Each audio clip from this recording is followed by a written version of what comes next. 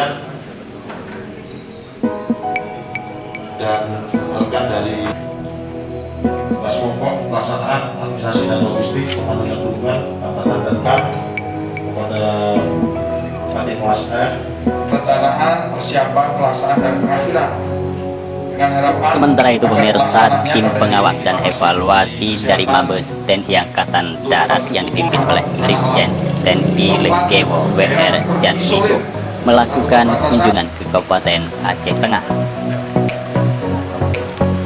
Kunjungan tersebut dalam rangka melihat program TNI Manunggal Membangun Desa ke-109 yang dilaksanakan oleh Kodim 0106 Aceh Tengah di Kecamatan Pegasing, Kabupaten Aceh Tengah. diperintahkan untuk meninjau itu kita mematuhi eh per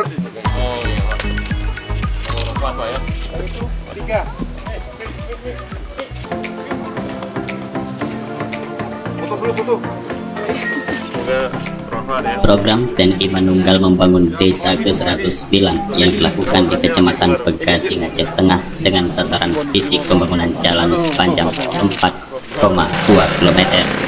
Brigjen TNI Legawo WR Jatmiku didampingi Bupati Aceh Tengah Sabela Bakar dan Komandan Korem 011 Lilawangsa Kolonel Infantri Sumirating Baskoro mendengarkan pemaparan yang disampaikan oleh Dandim 0106 Aceh Tengah Letkol Infantri Teddy Sofian terkait progres pengerjaan yang dilakukan di lokasi TNMD ke-109 reguler di Aceh Tengah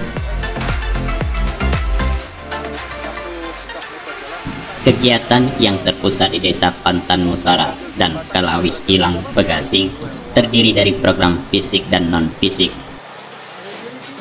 Ketua tim Wasek menyampaikan bahwa pembangunan yang telah dilakukan sudah begitu baik dan sudah mencapai 80% secara keseluruhan dan sejumlah kegiatan non-fisik baik sosialisasi dan pelayanan kesehatan juga sudah berjalan. Bawahnya belagarnya Eh, terima kasih. Saya selaku tim pengawas dari Mabes Angkatan Darat. Hari ini saya datang ke lokasi TMMD di Kabupaten Aceh Tengah melihat pembangunannya sudah untuk bangunan jalan sudah 70 persen. Tim Wasef juga memberikan bantuan olahraga sebanyak 4 set kepada perwakilan desa serta bantuan sembako bagi warga yang membutuhkan.